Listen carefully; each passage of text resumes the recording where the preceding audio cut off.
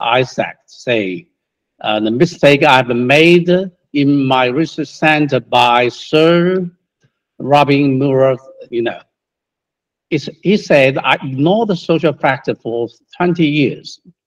And my preconceptions had made me blind to the, the influence of the social environment. And so, this story, for the past three decades, we devote ourselves to address the importance of social factors by helping the patient rebuild their social connections in Yuli to overcome the limitations of various pharmacotherapies and the psychotherapists. Um, this this program started from I think that in the 1988 and 1989. And back then, this hospital I had we there was there were only a few social workers, perhaps the four social workers, three clinical psychologists, and no qualified occupational therapists, and even no qualified psychiatrists before I came to this hospital. So, and actually, we have no idea about the second generation antipsychotics. We only have a few types, the first generation antipsychotics and the TCAs. But um, the patient still uh, can uh, become stable after treatment, uh, months or years of treatment, and finally then uh, turn out stable. But they they they are they were trapped in a back ward in this hospital, and their condition is pretty uh, miserable. Although their symptoms subside.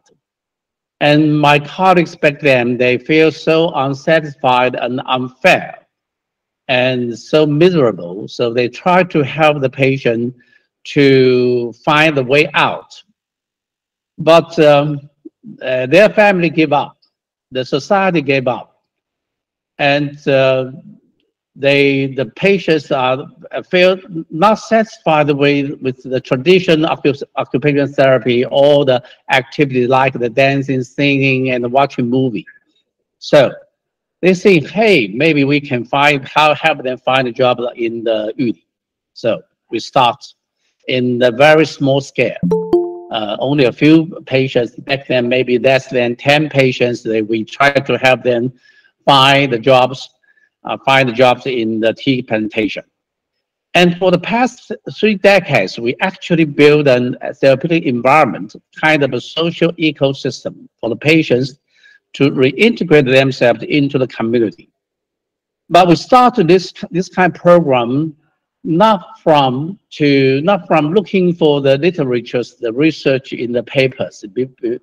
You know, uh, back then there was no Google, and uh, we uh, this hospital is the remote countries, the far away from the big cities and from the big big the medical centers and the libraries. It's very hard to reach those kind of data or research. So we just try to help them just um, you know try to uh, use the use anything any means that we can help them to find a job. Okay, okay. So this hospital is far away from the many big cities in Taiwan and uh, uh, located in the midpoint of the Rift Valley, the Eastern Rift Valley. Uh, this is the main building of this hospital. Um, it really now about uh, barely 30,000 the, the inhabitants accommodate the multiple ethnic groups, as you said. But it's very interesting and uh, special that this this uh, this town accommodate another thousand people they transferred from throughout transferred from all of Taiwan who suffered severe the persistent mental illness. And they stayed in my hospital. This hospital used to be uh, Yuli Veteran Hospital before two, uh, before the 2013. Now we started it. Um, we started this hospital very uh, from the very uh, humble beginning in 1957. Now, the patient in my hospital, they are the most dysfunctional and treatment refractory, but they have multiple needs. And how to satisfy them and with the, I think it's, it's, it's, there's, there are many limitations to satisfy their needs by uh, medications, by psychotherapy, or by traditional occupational therapists. Now, so for decades, this hospital was the most disgraceful and disadvantaged mental hospital in Taiwan. It almost the unspoken shame in the whole Taiwanese Society of Psychiatry because back then, the 30 years ago, this hospital is a big asylum and it, it looks so strange and weird um, from the background of uh, the, institutionalization mainstream. So, but we have to face the problem. So many patients just trapped in a back wall and they cannot return to their community of origin. So how can we do? Can we build an environment where they can resume normal life and reclaim their dignity? So this is a good question, and we needed to answer this question by ourselves. Yeah, I would like to skip this one. You know, uh, in the Western country, they have faced a lot of problems. Yeah. So so can we have, uh, so can we have, what are the key components of the strategy that can make patient recovery possible in Yuli Veteran Hospital? Again, I will emphasize we we did not look for the literature first because it's not possible to reach this kind of literature. Um, may, I think many, many, um, in many countries, people do a lot of good things, but it's very difficult to publish in English to to you know to to uh, to describe their psychosocial rehabilitation in details. Okay, so we try to answer this question based on our own field studies. Uh, I I wrote this uh, this article in 2000 published this article in 2003 in the Psychiatric Services. So my point is, is the don't go to the extremes either liberal individualism or ut utilize uh, empiricism. Now, try to take into account the series of your own social cultural relevance in the, you know, the, the context, the social culture context. You have to think thoroughly and, uh, you know, you, you don't need to copy um, any models. You just try to, you know, to uh, develop your own know-how to, to, to help the people reintegrate into the community. Yeah you can look uh, this uh, articles in uh, by the uh, uh, by the Google. Okay, I think this the article is the most popular, and many of them. I sent this uh, article to uh, you before the, the, a couple weeks ago, so I you you guys supposed to have read this uh, article before this seminar. Now, so anything shaped by vision home is where you make it. If they cannot go back their their their home, their hometown, so why not help them to build their home in Yuli? so, in the Yuli model, we extend the therapeutic homeland beyond the walls of the Yuli Veteran Hospital to the Yuli town. So, and this therapeutic homeland conceptually should be the touchstone of a continuous and balanced treatment model. Yeah, like this uh, this graph it's a it's a try to keep the whole model balanced and continuous because of therapeutic homeland. Now, there's a key four key components and four key strategies. Uh, I'm not going to to to talk in details, just giving you some highlights. Yeah, uh, I know your hospital is quite similar to my hospital. So you, you uh, the, your hospital has uh, the very, um, you know, the very good the medical service as my hospital, and so you can provide the holistic care for, to your patient. It's very important. And we not only the inner world, but also the social network of the patient are disrupted by the disorder. So we try to apply the, the principles of intensive case management and the case management especially applied in patient's workplace. Not only keep patient clinically stable, but also work as a social ties between the patients and, and the community. So Through the case management, management the patient can develop, develop their social connections gradually and gain support from the social network at last. And we do believe that this kind of connections bring about therapeutic effects. So therapeutic home then is not only in name, but in substance. They, there are a lot of social connections that happen the day on daily basis. And vocational rehabilitation, I think is the math key of the all keys. We have four groups in this program, occupational therapy, and the second, the hospital-based work therapy, and third, community-based work therapy, and in the, the, the, the fourth is the individual placement and support. Now, I will skip to th this slide and to what I said. I do believe for the past decades, I think thoroughly why the, this program become uh, turn out therapeutic to the patients, and we can call this program the therapeutic homeland because we provide um, the comprehensive work therapy. Yeah, work therapy, work for pay jobs should be regarded as one of the psychiatric treatments in addition to medication, psychotherapy, etc., etc. Work cell has built-in incentives, monetary and non-monetary, to encourage the patient to stay in course. But the patients still need ongoing support and on-site job coaching to remain stable in work. And the support should be time unlimited, though the intensity may vary along the different periods. Work therapy in Yuli, especially community-based offer the patient not only the opportunity to earn money, but also to build a stable and supportive connection with their employers, employers' families, and co-workers. So the work therapy is not only to do with the exchange between the labor and money, but also has a lot to do with the mutual support, the friendship happened between the patients and you know and their and their employers even the consumers. The connections result in most of the therapeutic effects of Yuli therapeutic homeland. Most of the case management efforts are focused on the helping the patient learn the work and social skills and remain stable in those family-run small, small business.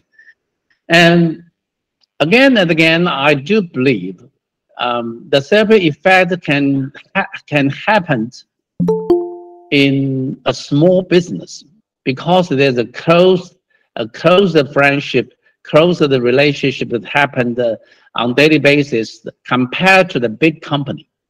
Because in, in Yuli, we have only the family runs for business. So they have interact and work together very closely to each other. And this, um, this kind of interaction is very helpful to help people to overcome their negative symptom and cognitive dysfunction. Okay. And the fourth is the fourth key is a long-term supported residential program. We know, on, we know only a thin line between family care and family control, between the family permissiveness and family indifference. And the conflict between happens on daily basis between the adult patient and their families. I think you have the same experience. So distance in the space can buffer the conflict. So, uh, so we we recommend the supportive residential program and with the continuous discipline and supervision and help them build up personal social skills. There's uh, many people have visited this program. So now, the, okay, um, the long-term supported residential program, there's some features, the high quality accommodation, the vocational focus, empowerment and recovery oriented integration with the community and the multidisciplinary service team. Long-term and stable, not temporary, nor transient, uh, supported residential program, not only halfway house. No way is halfway. We always in somewhere in between. So we'd like to, there is a support of the long-term residential program can definitely consolidate and even enhance the effects brought about by the previous three components. Now, World Psychiatry. In 2022, there is um, uh, meta-analysis and since the recent evidence say uh, for, uh, about the community-based social intervention for people with severe mental illness. You know, this kind of study very difficult to implement, but they try their best to to make the systematic review and narrative synthesis. Now, the conclusion is that there is uh, there are that that only supporting accommodation is evidence proof effective at improving housing stability for homeless people with severe mental illness. And the other one is the support employment, is effective at improving employment outcomes. And the third one is the family psychoeducation. Yeah. So now, and they also they also found there is growing evidence to suggest that loneliness is the driver of poor health and social outcomes, and therefore any opportunities to support social connection should be valued. And in The therapeutic homeland, we do believe we help people to to you know to uh, have a job in the uh, families around the small business to help them overcome the negative symptom and cognitive dysfunction, as well as the loneliness in this modern in this modern society. The key strategy. Now, the first one is the seamless connection with the hospital-based program. Now, now, to avoid the uncertainty of the government subsidized programs, which jeopardize the stability, stability of the staff and program, all the programs are run by the hospital with its own budget in terms of the human resource and the facilities. I think your hospital has a very good start because the, compared to the 30 years uh, Veteran Hospital, we have a very scarce uh, uh, resources. Yeah, but yeah, and uh, your um, I think your hospital be much more so resourceful than uh, the 30 years ago the, uh, the Hospital. Now, because we have it's a seamless connection with the hospital-based programs. So all the staff in the hospital outreach to the community. We have the stable, cohesive team, stable relationship and trust between staff and patients sensitive and timeless response to patients' problems. This factor, these features connect with each other closely. Assessment and rotation applied by the same team for sure can minimize the problem with referral and avoid the pace patchworks commonly seen in community rehabilitation programs. The second is all the components, the key components, uh, work as one service package they should function simultaneously to achieve the maximum effect.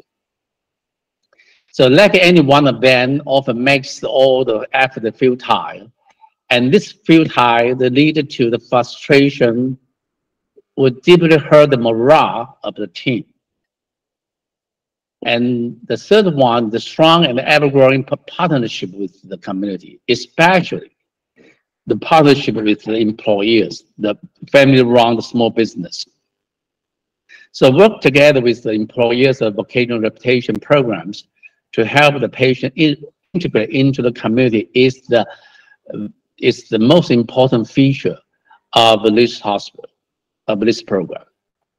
And we also have a multidisciplinary team of all responsibilities to make sure the coordination and continuity of of care across time and service.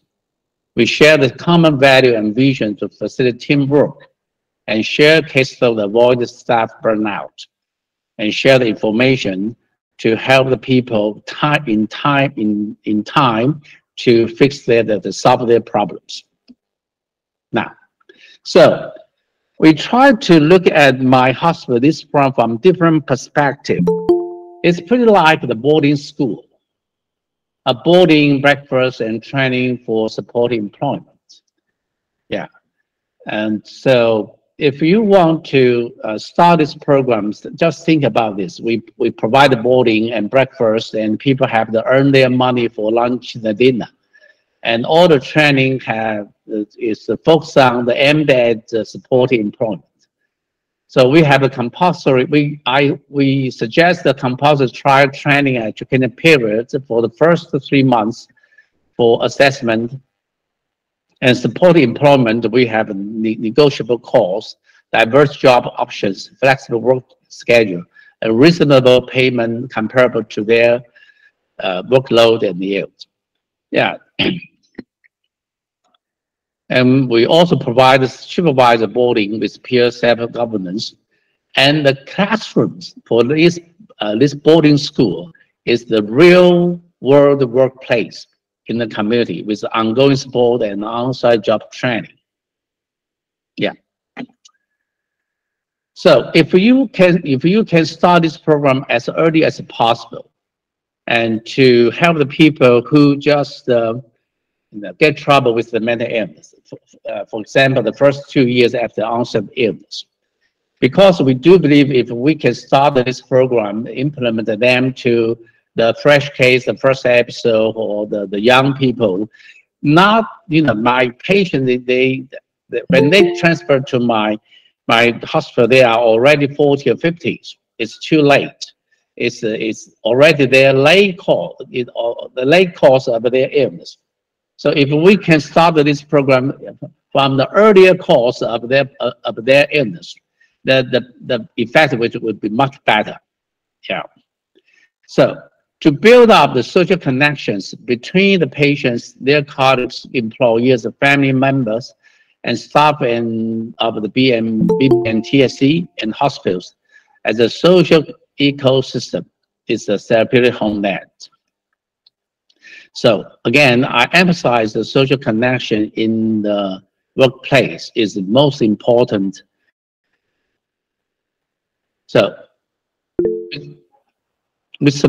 as soon as the patient can keep job for at least six months, they can move on to live with their families and support a housing program. But it depends on the people's condition. But the support employment with all the key components strategy will last indefinitely. So support employment is the end and also the means to build up the personal social skills and the therapeutic ecosystem as well. Okay, I just skipped this point. Now, I add something new to this uh, the speech. Rethinking the mission of occupational therapy in psychiatric rehabilitation. What do you mean by psychiatric rehabilitation? Of, of uh, in other words, the psychosocial rehabilitation. It's um, involving discipline, so the approaches and the strategy used to constantly un undergo adjustment and change as film materials, and the method become more refined. Despite the diversity of the practice, you will see that there is agreement about the principles of the psychiatric rehabilitation. For example, person-centered approach and the strength focus and focus on job and career development. Yeah, I just try to highlight something. An emphasis on goal-related skill training, resource development, and environmental modification. Integration of treatment and rehabilitation service and ongoing accessible and coordinated service. But how to do this? We can do this um, in very concrete way by by uh, in the compact in a concrete way by you by applied implement the support employment or work therapy. In the broad sense in by work therapy we can apply all these principles in the work therapies. So psychiatric intervention there's i think there there are many psychiatric interventions but as the World, Psych World say, uh, there is uh, only supportive employment, supportive housing, and the family psychiatry that have have, uh, have, have the good evidence approved. Now, occupation. In the very common sense, your occupation is your job, work or profession. So an occupation is something that you spend the time doing either for pleasure or because it needs to be done. So occupational therapists, the concern with occupational behavior is concretized as participation in work, personal life skills, learning, leisure, and play. And skill is an essential capacity of human beings and is a vital component of occupation. So people's experience of engagement in occupations influence both their satisfaction with performance and intrinsic motivation. Occupation is engaged in by whole human beings not, that may not be reduced to cells or organ system. It's a holistic approach. So the so-called occupational human is a complex living system that in, interact with multiple environments. Yeah. But occupational science arguments. The critics is that, the dilemmas of occupational therapy practice. A major question confronting society is what is the relationship between human engagement in the daily round activity and the quality of life. The profession may not be fully achieving its rich potential in making a difference in people's lives. So what the reason for this dilemma? The argument is many occupational therapists still practice in hospitals and clinics in which the traditional medical view of illness and disability predominates with the medical model's priorities concerning being a alleviation of symptoms, it often brings a limitation in focus that does not include occupational engagement of people with their natural context. In Taiwan, many occupational therapists only think the uh, occupational therapy in hospital is their job. But help people to find a job and keep stable in the job is not their job. It's not their profession. And that is the problem. So, and anyone can be the job coach. As I said, we start this program to help the patient find a job. We have no qualified occupational therapists. We have only uh, a, a few social workers. So there, there were one social worker and one you know, not qualified occupational therapists. They work together to help people find a job. And back then, 30 years, more than 30 years ago, they played the, they played the role as a job coach to provide the training and support on the job site, to educate the employed about the disabilities, to assist the support employee with the interpersonal relationships, uh, relationship skills on the job site and to assist for health and wellness goals, career planning, decision making, money management, transport, transportation, job development, and carving, etc., etc. To integrate the vocational sector service, they work as a member of the sector service team. Now, so we have to prioritize, prioritize the occupational therapy practice in psychiatric rehabilitation. So we try to focus resources on work therapy, including individual placement and support first, not tied up in the hospital. Help the patient learn and practice personal social skills at the workplace, the classrooms, to gain and retain employment. Help the patient develop leisure and play hobby after they get anchored in the job for uh, long enough times. And work therapy, like an engine, drives the occupational therapy profession as a whole to meet the patient's occupational needs in the community life. So again, I emphasize the work therapy should be the first priority of the occupational therapy. Now, why does psychiatric rehabilitation or work therapy matter? We know the hard core of severe the persistent mental illness uh, no matter schizophrenia or bipolar or the severe the major depressive disorder, the long term, the chronic major depressive disorder, the hardcore, the, the most difficult part to treat is the neurocognitive dysfunction. And there is no magic pill to remedy the impairment.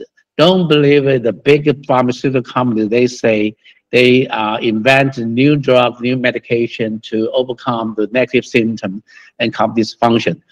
We have looked forward for the past three decades and any new inve uh, invention, invention, uh, the new drugs can overcome the negative symptom, but we fail. So we have to address the social factors, have to, uh, to uh, psychosocial factor, the social factors to help people overcome the negative symptom. Yeah, by help them find the work, uh, find the job in the community. The longer the illness, the harder to revert the deterioration course.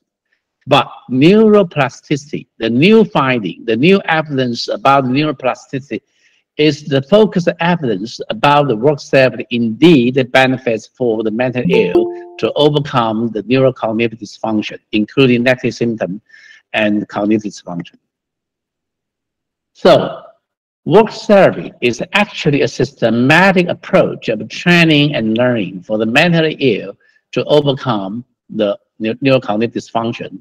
And work therapy can consolidate the goals, values, and principles of psychiatric rehabilitation. Work therapy is an indefinite approach to help the patient devote themselves for lifelong learning and growth that is recovery and transformation. So that's the picture since the 2000, I think this picture took in, I think the 2017, the year before I stepped down the superintendent And thank you for your attention.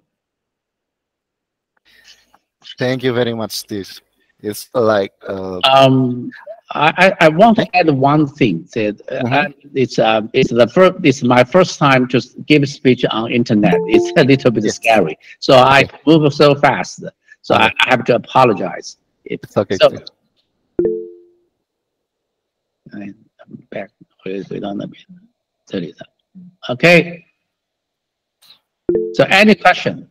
Yeah. Okay, we now, uh, ladies and gentlemen, we now open the floor for discussion with Dr. Steve. Participant, feel free to type your question in the chat box, on, on your microphone and camera to interact directly. Your engagement is key to enriching the conversation and knowledge. Please. Kami persilakan para Bapak Ibu partisipan untuk mengajukan beberapa pertanyaan. Mungkin kami persilakan bisa menggunakan chat box atau dengan menggunakan mikrofon langsung. Oke, okay. kita sudah punya beberapa yang mengangkat tangan. We have a, a raise hand participant, dok. Yang mana dulu? Hi, okay. Yuni. Dr. Okay. Hi, hi, hello, Steve. Thank you for the for the beautiful, I said it, beautiful uh, speech, and um, Thank you very much. And um, I think through the video that Edwin uh, has shared and also during our visit, I'm sure that uh, everybody here is uh, convinced that you have uh, walked the talk. So, and also all the evidence that you have uh, given to us, all the steps that you have teach taught us, it is very um, very amazing to us. As we are here going to start our regimen model in Sumber Porong in Lawang. So I'm always, uh, I would like to ask you uh, one question about how you advocated about this program to the community stakeholders at the first time of uh, when when you started the program. What were the challenges you had then, and uh, how did you face the challenges? Thank you. When we start this program, actually we start from the work therapy we find we help the people find jobs on the tea plantation.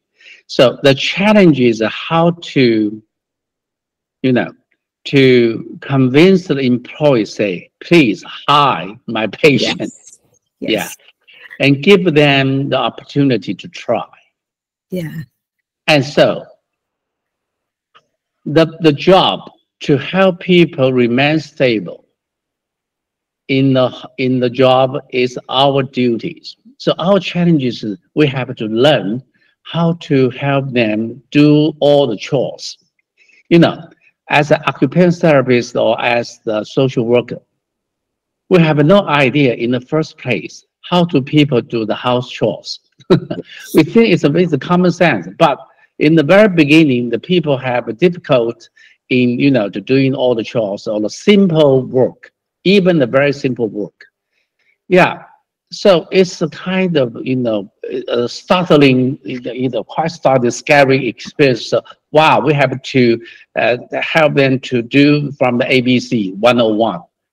Yeah, and it's very cold, it's very difficult and time consuming, labor consuming.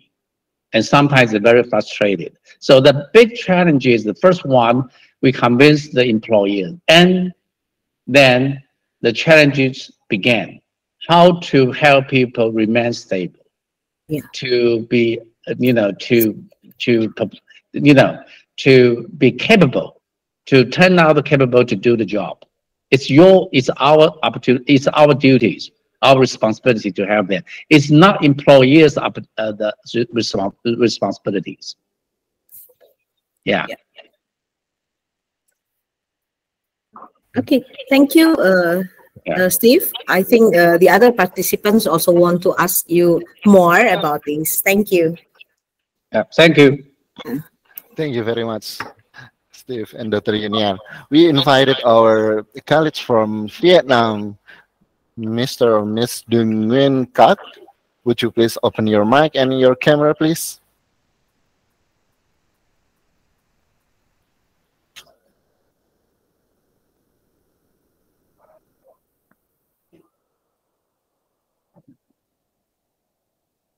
I think he had been disconnected. Okay. Is there anyone want to discussion but uh, with oh this is Mr. Andi Rosyad, please. Oke, selamat pagi. Selamat pagi, silakan. Iya. Uh, perkenalkan nama saya Andi, saya berasal dari Timika, Papua. Wow. Ya, saya mungkin agak ada pertama-tama saya bagikan sedikit dulu pengalaman saya juga. Saya dulu sebenarnya juga itu mengidap skizofrenia. Cuman alhamdulillah sekarang uh, sudah mengecil itu suara-suara yang saya dengar itu dan sekarang saya sudah bisa beraktivitas kembali seperti semula. Uh, saya seorang mahasiswa salah satu perguruan tinggi terbuka di Indonesia.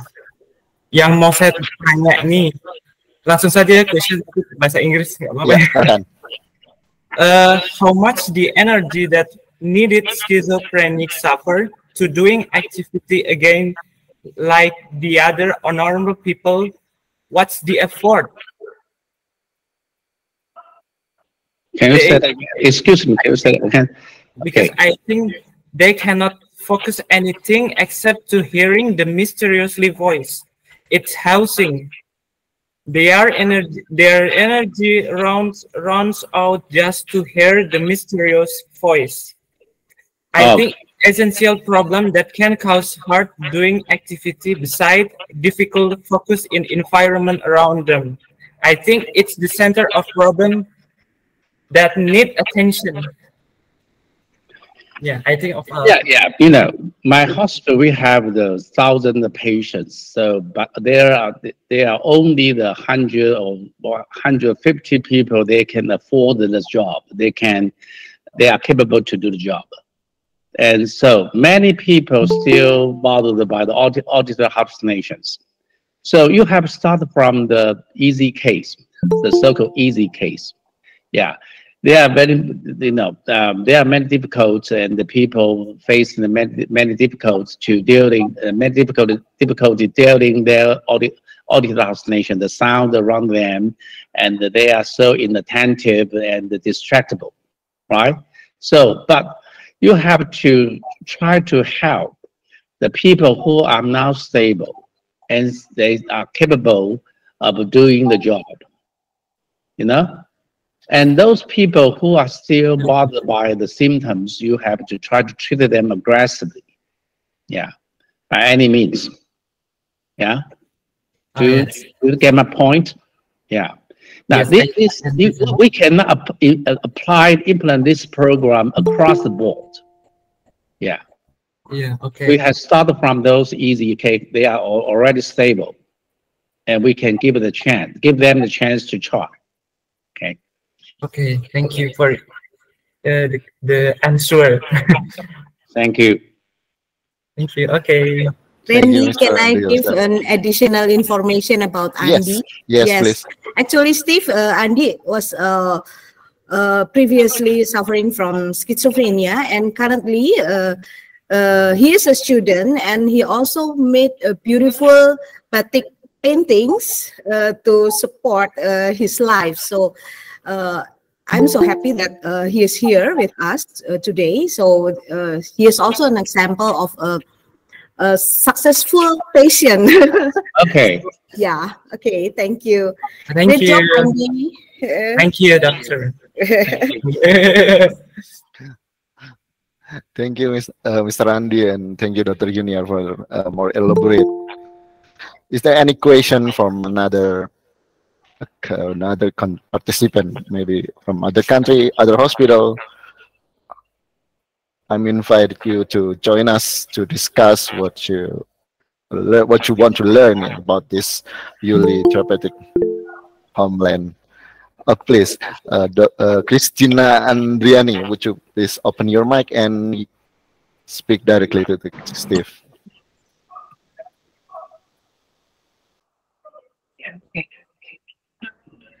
Good morning. Good morning, Mr. Steve. Good morning, Dr. Junior. And good morning for the others participants. Uh, my name is Christine. I'm from Panti Karya Asih, uh, one of the, um, what do you call that? The, um, a Panti, one of the Pantis in Indonesia. So what you have explained is is like a utopia for all the um, uh, for all the patients yeah. So for uh, utopia something to reach but is it possible? Something like that.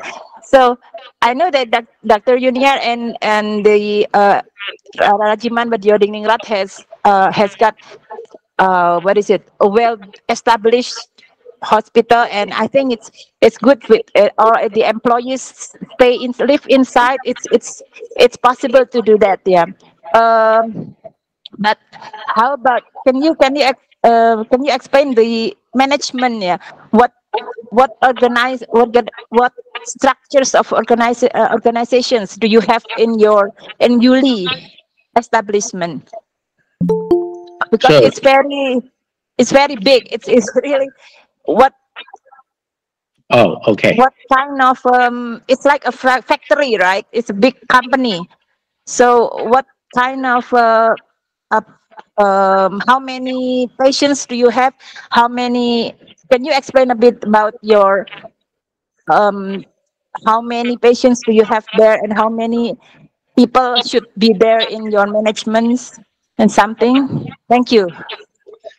Okay, right now we have uh, now uh, 1,700 people, you know, the patient, inpatient. But there, every day, there are 500 people in the occupational therapy program in campus. so you have a team a team of My team, yeah, okay. Uh, who I- are your I team? it. who are Yeah. in your team Yeah, my, okay, my, I, I say, my team, we have two psychiatrists and two social workers and two clinical psychologists. And I think a dozen occupation therapists to help people remain stable in the community. Okay, thousands of social workers two social workers, two clinical psychologists, and a dozen occupational therapists, and maybe Oh. two, one or two psychiatric nurse, and two psychiatrists. Yeah, Wow. is our team to uh, to help people about 200 people remain stable in the workplace. And some of them, 50 of them, live in the supportive housing in the Yuli town and 100 plus live in the recovery house, or you call the halfway house. And some of them stay, uh, still stay in the in the in the uh, in the ward in the hospital. Yeah, yeah. But there's another another another team. They provide the occupational therapists and the uh, commu- uh, hospital-based work therapy. Yeah, there there's a dozen people. A dozen people. They are the, mo most of them are occupational therapists. Mm, I see.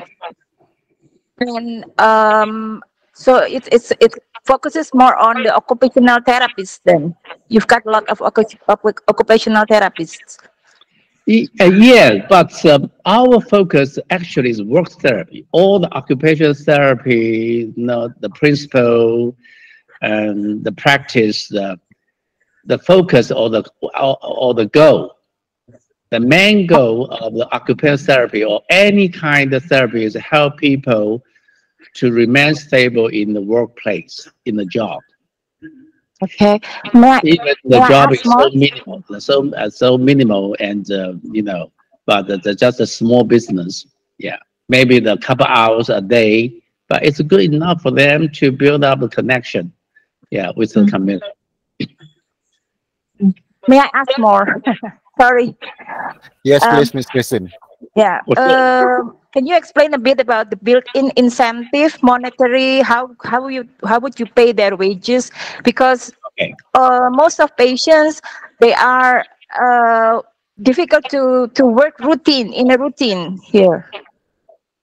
Yeah. So, for example, one patient they, for example, one patient they work in um, um, the head a hat shop the in the in the morning for one hour to open the shop, and uh, one hour in the afternoon to help the close the shop. So they are paid hourly. Perhaps you know it depends on it depends on the, it, it's a negotiable and negotiation between our job coach and the employer say, and uh, the workload you know the workload how much the the people can work and they pay for them. Yeah. Okay. So What's it's always negotiable. What's the average uh, working hours for them in a day? Uh, different people have different hours. just as they cannot work routine. routine. Yeah, yeah that's right. for them to keep a job every day. So some of them just two hours a day. Some of them have eight hours a day. Yeah, yeah. Mm. So it's quite flexible. Mm. You say the community uh, is your establishment here. I mean, a part of the community. You are in in the middle of the community, or you are separate establishment. No, no, in the community, right in the community, in the so market, how? in the oh. street, on the street, yeah, over the the, the Yuli town, yeah. How do you educate? How do you educate the community to accept them? You don't need to educate them. You just say, give me a chance to try and direct contact. Help people understand that the patient is not so scary. they are the, they look quite normal, right? And mm -hmm. they, our job is to help people to get opportunity and also get enough time to get along with the employers uh, employers' family and their mm-hmm. consumers. and yeah, and gradually they understand to say, hey, this guy is quite normal. Yeah. So oh, mm-hmm. try your best to help people the opportunity, to get the opportunity to contact the the people, you know, in the, their neighbors, the neighborhood directly. Okay, so the the job is not the end. The job is just a means, the measure to help people to contact mm -hmm. the so-called normal person. yeah. So it means, I mean, uh, back again, you want to them to have environment to resume their normal life, reclaim their dignity. So uh, they have needs too. Usually, the patients have needs. They want to get married. What happened yeah. there? What's your what's your yeah yeah. What do you have to do? They have uh, the, you know, they have a sex need and something, blah, blah, blah. Okay, many needs. And uh, when, they, yeah, and when they, you know, go into the community, they all, someone, they are so smart, they can find a way to find, you know, find a way to you know, satisfy their sexual need. And uh, many of the schizophrenia to my knowledge, to my experience, it's very hard for them to build up the stable and uh, intimate intimate relationship. But the people who uh, suffered from the mood disorders, yeah, they have some problem with this. So you they need some counseling, yeah, Mhm. to protect themselves and you know and to protect you have the safe sex uh, with Mhm. each other. Yeah. Is the, you encourage we, them we to are, get married? Trying to Or, divide it. sorry, sorry, sorry. Some, some of them get married, but some of it, but nowadays they don't they don't think married get married is a good idea. Okay, that's why. That's my question. Yeah, that's why. Yeah, thank you, thank you, thank you very Thank much. you. So, Thank you yeah. for your, your questions. Thank I you. think someday, I think someday we need to go to visit uh, Yuli. Yuli, Christian, so you can get answers for Mhm. your uh, questions because uh, Christine is running a sheltered uh, home for uh, patients with schizophrenia that cannot be um, taken care by the family. So uh, she works very close with our uh, hospital. So um, I'm happy that he- she is joining the program, the webinar, and asking you so many questions, Steve. Thank you very much for answering. Yeah, I, I have to apologize so that because the, the time so limited, I cannot describe in details what Yeah. happened. Thank But you. I think the point is that just try your best in your own social cultural context. Help people to contact the, the neighborhoods, Yes, get along with them. yes, Yeah, perhaps the job, the work therapy is a good idea, perhaps not for your, for, for your situation. yes. Yeah, Yeah. yeah. Okay. Okay. Uh, all the participants, for your information, Steve and Yuli model imp- uh, start from the from the neighborhood. They they they are networking with neighborhood neighborhood like uh, uh, car washing and other local employment. Business. Yes. And local business. Thank you, Dr. Junior. And I will like to invite Dr. Lahargo Kembaren. He is a psychiatrist from Marzuki Mahdi Bogor, right? Okay, Doc, please open your mic and ask the question. Thank you. Thank you, moderator. Thank you, Steve, for the wonderful presentation. I learned so much about the Yuli model, about the psychosocial rehabilitation. Uh, I'm uh, Lahargo from Marzuki Mahdi Mental Hospital. So I just want to ask about the residential supported. How you uh, build this kind of uh, supporting to the people with mental illness because in in Bogor in Indonesia uh, we have a halfway house, but it's still in the hospital. How to make a bridging from the hospital base to the community base? Thank you, Steve. Okay. Uh, I try to answer. You know, in the first place, we start this program, the patient, they still stay in hospital. But we, we try to help them and brought them out of hospital, beyond the walls, to the communities. So we still have the same team, and we provide the outreach uh, service for them. And even now, the recovery house still in the campus, the main campus in the other hospital. I think that it, I, I just I say that it's pretty like pretty like the boarding school. The boarding school, do you think look at not hospital, but the boarding school? That boarding school, the dorm, I think it's a good bridge between hospital and the community just look around, look at a different angle, different perspective. You provide uh, accommodation, not back to the family, not back to just uh, still in the house, in the supportive house program, the dorm, and it, and you you provided all the service like I said, you know the, the medication. We still watch for watch for the medication and uh, help them to discipline themselves yeah, provide some rules and uh, uh, provide some social skill training in the dorm, in the supported housing program, in the recovery house. This kind of bridge, and then find help them find a job. in the in the in the in the in the community in the neighborhood. You know, so um, perhaps you have a, not you. Um, in Taiwan, I always encourage people say you can open one wall. You don't need to, to build a new new building, a new house. You just open your one wall and turn them out inside out. You know, turn the world inside out like the open world. And they, it, it, it, the, the world can, can work pretty like the door. Did, did you get my point? Do you get my point? Okay. So that is a bridge. One last question. Is there any uh, a community mental center in uh, Taiwan because in Indonesia all program about the mental health is uh, included in the public health center. So I just want to ask about the community mental health center. Uh, community rehabilitation center, mental health center, mental health center.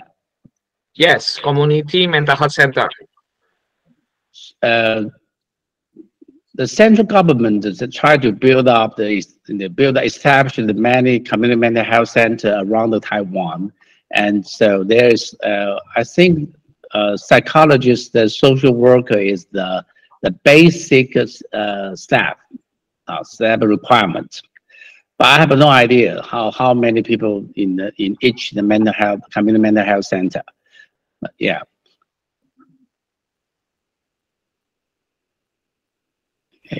Okay, is there any question, Dr. Hargo? Thank you, terima Thank kasih you. moderator, terima Thank kasih you. Dr. Junior. Dengan senang hati. Okay. okay, for the next, uh, someone asking from, oh, this is far away from Cambodia. We invited uh, Miss Solinette Sao. Would you like oh, to open your mic and open your camera, please? Hi, Solinette. Good morning, Dr. Steve. Um, greeting everyone, Wendy and Dr. Yunir. I actually have a question, follow-up question. Like, um, it's still, um, I'm still curious about how you actually build a seamless connection regarding your um, hospital-based programs. Like, back to 30 years ago, um, how do you come up with this agreement that all of this budget would be um, within your hospital and um, what would be your key of the key in maintaining this agreement and also like um, building such a stable and cohesive team? That would be my question. Thank you. We 30 years ago, we started this program secretly. Do you understand? Okay. Yeah, just um, um, outside the radar of the administrative you know, administrative, uh, yeah, administration. Yeah, we just started this program, say, we feel so unsatisfied, we feel deeply unsatisfied with the situation the people face and they trapped in the backyard. So the social worker and the not qualified occupation service, they do this enthusiastically to use their own personal connection to help people in hospital and also in community, the personal connection to convince the people, say, we can try. A very small, start from very small scale. They are very brave. They were very brave, yeah, to help people to find a job in the tea plantation. And Actually, they have no idea what would happen in front of them. Yeah. And about a few years later, things turn around. The qualified psychiatrist, psychiatrist, one, what I am one of them, came to this hospital and we support, officially support this program. So we break down all the disagreement say we endorse this program. And now you have the very good opportunity because you guys psychiatry, you can endorse this program by yourself. Yeah. And back then, when they started this program since 1988, 89, there was no qualified psychiatrist. No one supported them officially. Yeah. But, you know, just a couple of years ago, a, a couple years later, uh, the things turned around. You know? So certainly, don't be, you know, don't, don't be scared. Try your best. Go ahead. Yeah. And see where turn around. Yeah. Thank you. Yeah, there was always ups and downs, always disagreement with each other. Oh, that's But great. when we, when, but when we find the people getting better, better off, the patient getting better off in the community, that that is a good story for them to convince the people say this is a good, this is the right check for people. Yeah, for the hospital, for the staff, for the patients. Yeah. Did you get, do you get my point? I do. Okay. Thank you. It's very hard. It's very hard. Yeah, it's very hard to get kick the kick start. Okay, thank you, Steve. Uh, thank you, Lynette. This is a, a quite a challenging, uh, right, for us, right? And I'm also invited our colleagues from Thailand, from Nan Hospital, Miss Narutaya, and also a few colleagues from Psycholism Thailand. They're also joining today. Would you like please uh, give a question or want to discuss with us? Or our Indonesian colleagues, maybe you want to, if you want to ask a question, would you please raise hand?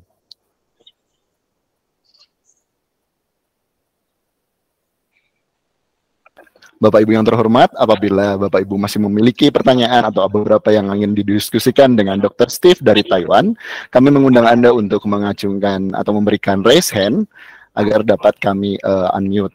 Dan kami juga terbuka apabila Bapak Ibu ingin menanyakan segala sesuatu tentang dalam bahasa Indonesia. Panitia di sini akan standby dan berusaha untuk membantu Bapak Ibu atau menginterpretasikan Bapak Ibu semuanya. Kami I'm quite, I'm quite sure that everybody here is thinking about how to apply this uh, program in our hometown, right? so everybody is busy thinking about that. yeah. Just get started because we, you know, we have no. Back then, we had no opportunity to have this kind of seminar. Nobody tell tell us how to do, and um, and um, you know, and uh, a lot of things uh, just ahead us and a lot other difficulties. Yeah, Yes. So- yeah. Don't be scared. Don't be scared. Yeah. Thank you for the encouragement. I think we are going to start here, Randy and uh, Adwin and Angita, and um, uh, we are going to tell Steve if we have something to ask uh, during the journey. Okay. Yeah. Thank you very much, Yeah. Steve. Thank Yeah. you very much. Thank you. Uh, And- all the participants, we would we would like to invite you to the photo session. We would like to we would like to ask you to open your camera for all together for the all Excuse me, excuse me. Uh, Yes. I'm curious. Uh, the Professor Isaac is still out there. Is there any comment or crit- critics from him? Okay, I would like to uh, to Professor Mohan Isaac. Are you still with us? yeah, this morning uh, he said that he's, he has another uh, program, so yeah. yeah, he would uh, silently leave this uh, webinar. so, but I'm not sure. Okay. Yeah.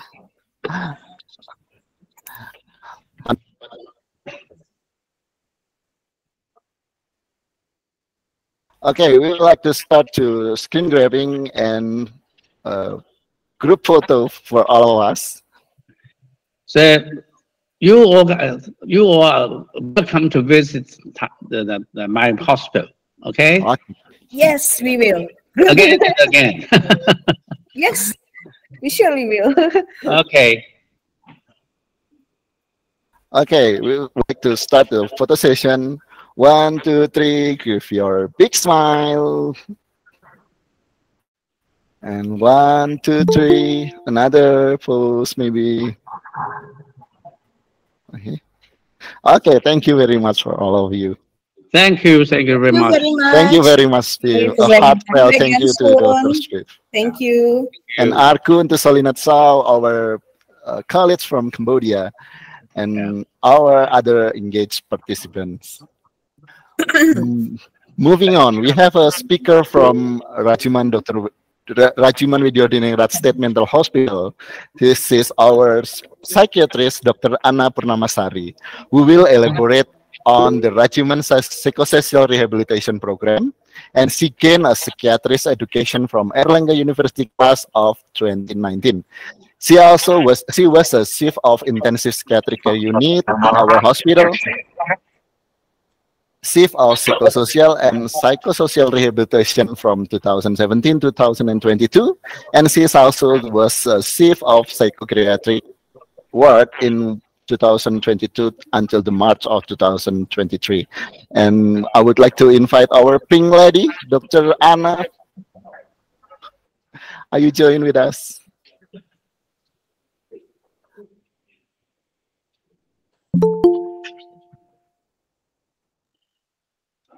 Halo Dr. Ana, are you join with us?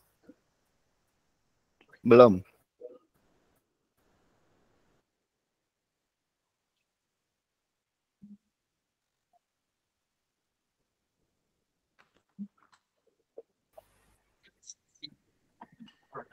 I'm sorry, we have to wait a little bit more longer for Dr. Ana to join us.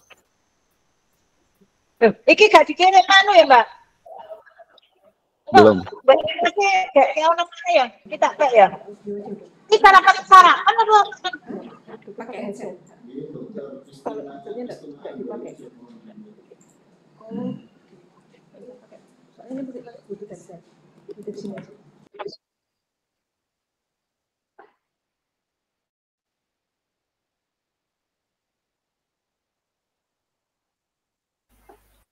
Due to technical matter, we would like to apologize to all of you. We have to a little bit more longer to make the Dr. Anna Purnamasari psychiatrist to join us today.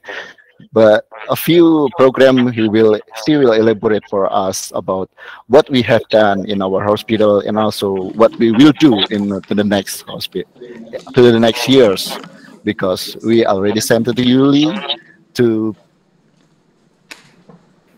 I'm sorry, to give uh, experience the psychosocial rehabilitation, but in the community setting.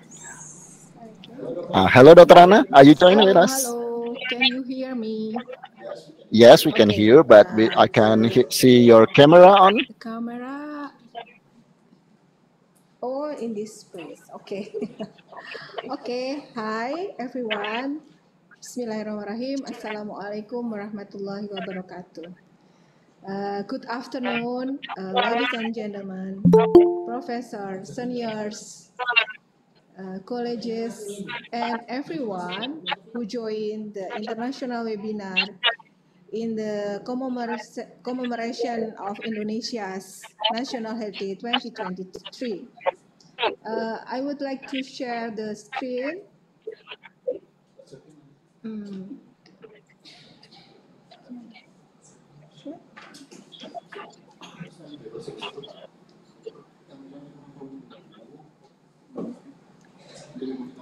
Iya.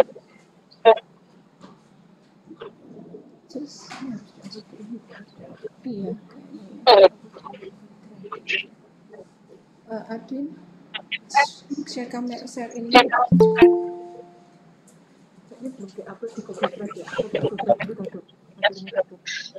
sau sau với cái bữa cùng bạn cùng mẹ thầy ông thầy biểu lên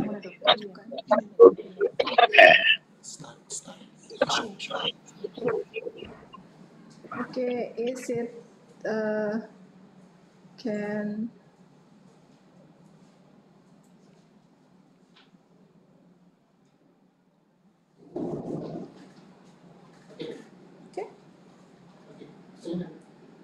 Uh, the first, the first slide. The first slide.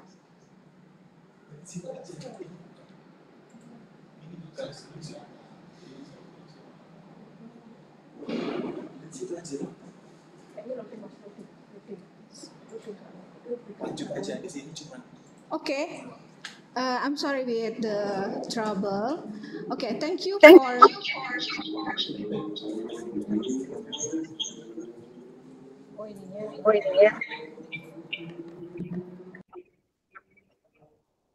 Yes. Hello. Okay. Thank you for uh, the opportunity uh, to share with you about psychosocial rehabilitation program at Dr. Radjiman Wediodiningrat Lawang Mental Hospital, hospital and community-based rehabilitation. Okay. Uh, share screen-nya not yet. Okay.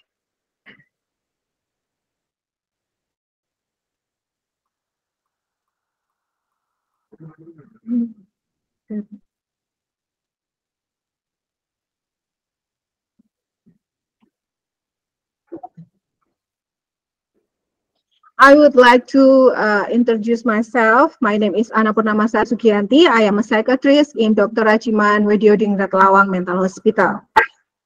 Uh, and I will uh, let you know about uh, my hospital. Our hospital, Dr. Radjiman Wediodiningrat Lawang Mental Hospital, is located in East Java. Oh, the the the picture is uh, not contrast. Okay. Okay. Uh, East Java or Java is one of the thousand of island in Indonesia. And this is the position of our hospital in Indonesian map. Okay. Uh, geographically, it is located in Sumber Porong village, the mountainous area, and is surrounded by Mount Arjuno and Mount Semeru. So the temperature around the hospital is uh, quietly cool, making it very comfortable yeah, to uh, as a place to live it and care for patient.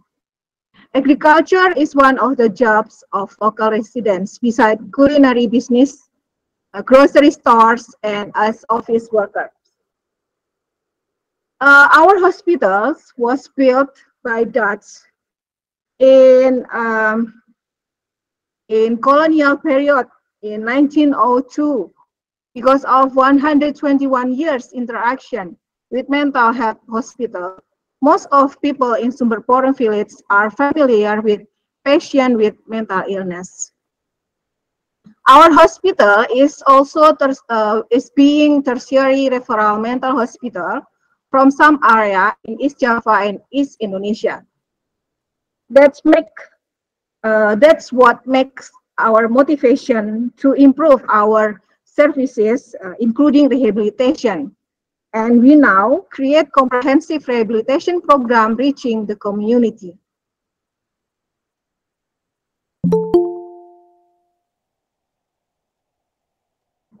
Okay.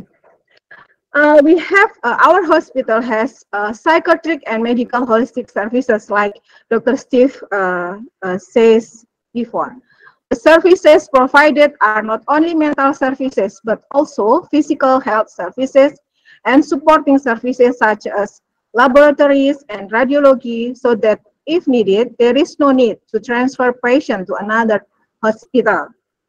We have experience about uh, when uh, we have uh, patients suffer from physical condition or disease uh, that re and require them to uh, get uh, physical care, further physical care, often general hospital have difficult to accepting them because of their behavior. So that makes us to give the medical holistic, holistic services. We have um, we have specialist doctors, psychiatrists, uh, psychiatric consultant, uh, child and adolescent geriatric and forensic internists.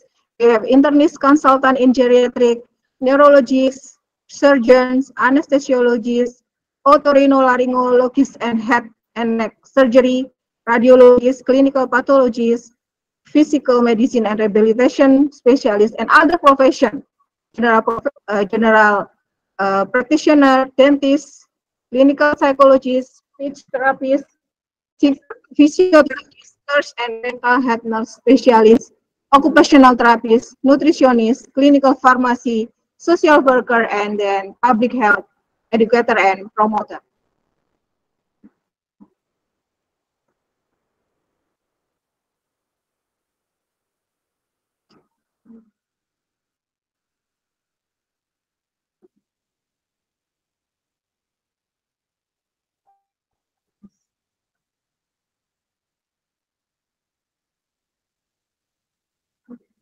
Okay. Uh, next, let's go to uh, psychosocial rehabilitation program. Uh, psychosocial rehabilitation is a terminology for rehabilitation for people with mental disorder. Uh, in our hospital, we have four stages. Stage one is occupational therapy. Stage two, stage two, pre-vocational rehabilitation. Stage three, vocational rehabilitation, and stage four is shelter workshop, uh, like supported employment. Uh, since around the 1990s, the fourth stage has not been included in uh, our uh, rehabilitation activity because the number of the patient care days is decreasing and there is not, not enough time to carry out uh, while the patient is being admission. But in the future, we will revive this stage for patients who have been discharged from our hospital and we will arrange this activity with community. And psychosocial rehabilitation in our hospital uh, managed by multidisciplinary approach, including psychiatrists, clinical psychologists, nurse, occupational therapist, social worker, and instructor. This is for chart of psychosocial rehabilitation program in our hospital. We start with the uh, patient being admission in the acute ward. In the acute ward, the rehabilitation activities cannot be carried out because uh, patient condition is not being uh, stable. Uh, the goal of uh, treatment in the acute ward is to, in, to reduce the intensity of uh, psychotic symptoms. And when they become too uh, stable, they will move to uh, intermediate ward, uh, and uh, and this uh, in this ward in this ward they will begin rehabilitation activities. the first the first time a psychiatrist maybe um, make a recommendation to um, to the multidisciplinary team to select uh, passion uh, and uh, uh, regarding their suitability for participating in rehabilitation activities. And a patient uh, would be hospitalized in uh, about two weeks. After that, they must be discharged from our hospital. They are asked to come to the outpatient clinic after seven days to pick up a month of medication. And when they are in outpatient clinic, they, they can uh, join or they can uh, get advice from a psychiatrist to take part in rehabilitation activity in daycare activities. Then a patient who have taken part in daycare rehabilitation uh, activities and maybe patient from community like uh, from a home shelter home in uh, uh, Miss Mrs. Christine maybe can join in community-based work uh, therapy activities after an assessment with assessment uh, that carry out by the team. Uh, this uh, there is uh, there are uh, our picture about uh, vocational uh, rehabilitation in our hospital. Uh, we have sewing class. In the sewing class, the rehabilitant may have trained skill for make a pattern and then cut the fabric and uh, sewing it into clothes, uh, pillowcases, or any handicrafts. And we have uh, making salted egg. In making salted egg class, uh, a lot of uh, activities can done in uh, this uh, class. Uh, and the, the, the every step is uh, train uh, their cognition, train their motor activity, and uh, also communication. Uh, in farming uh, activity or uh, farming class, we not only grow vegetable or fruit, but also cultivate mushroom. And we have cooking class and then selling class in uh, Toko Kita. Toko Kita means our shop in Indonesia. Uh, in 2017, we built a community-based work therapy in Wonosari Blended Village. Uh, these activities is done uh, uh, uh, because of uh, our uh, ex-patient who free from Pasung. Pasung is a restriction uh, for, for activity, for, uh, restriction and activity uh, of patient uh, carried out by the family, which is uh, uh, placing the chain in uh, feet or hands.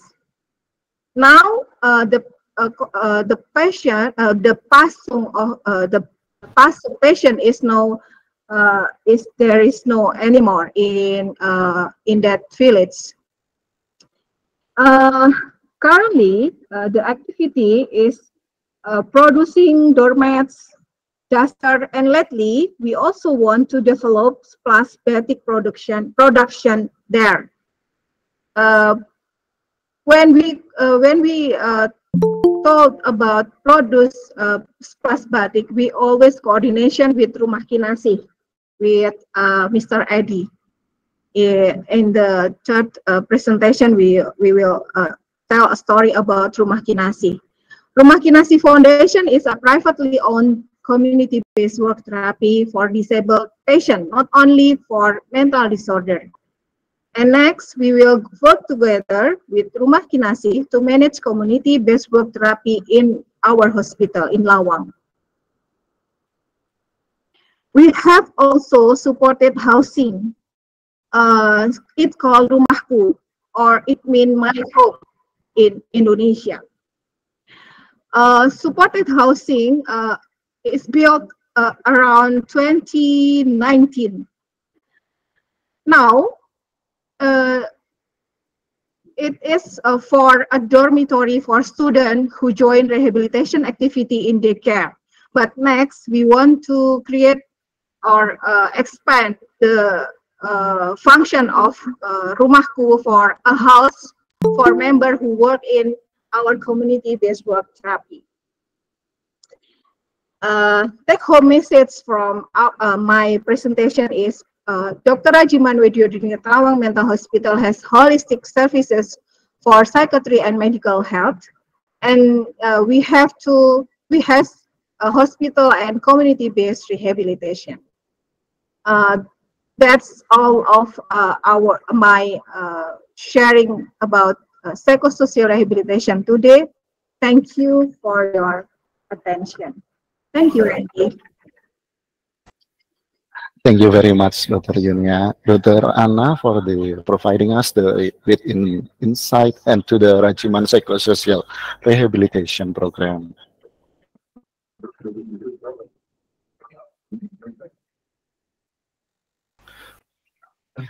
Okay, for the next session, we have a distinguished speaker from Bhakti Kinasih Mandiri Foundation, Mr. Edi Cahyono, who has played a crucial role in helping people with mental illness to find employment through the creation of Batik Ciprat.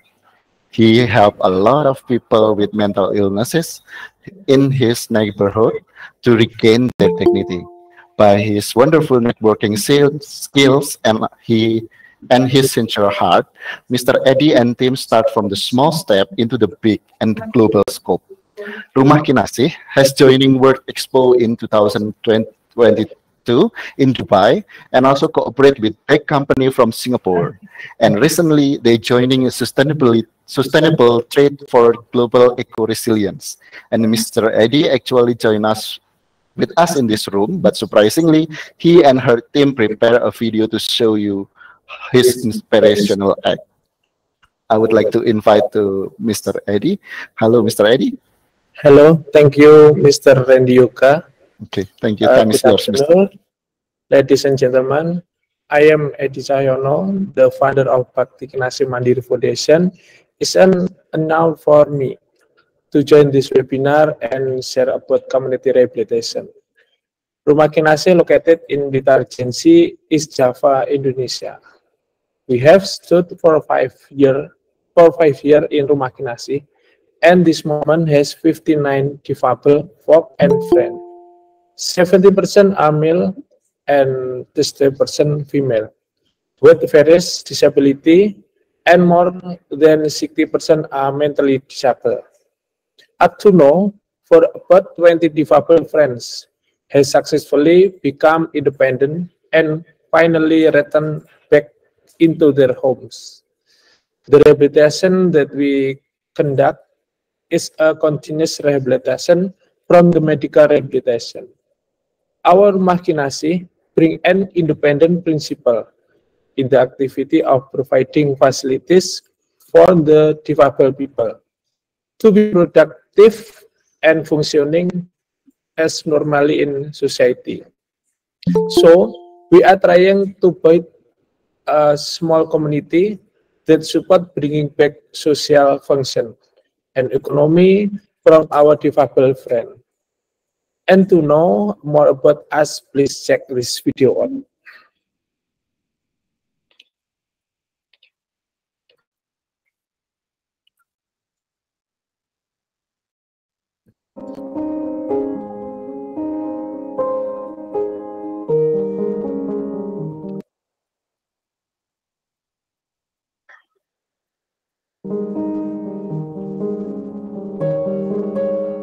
This is not about the weaknesses of human.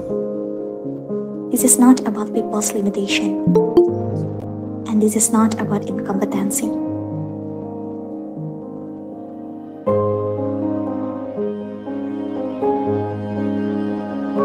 This is all about them. People who are often being marginalized.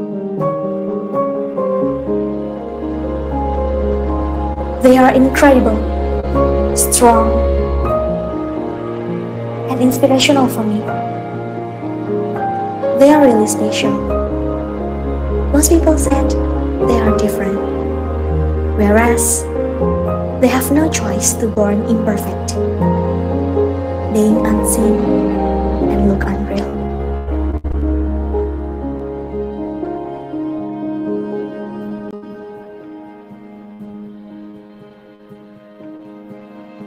But it's different here.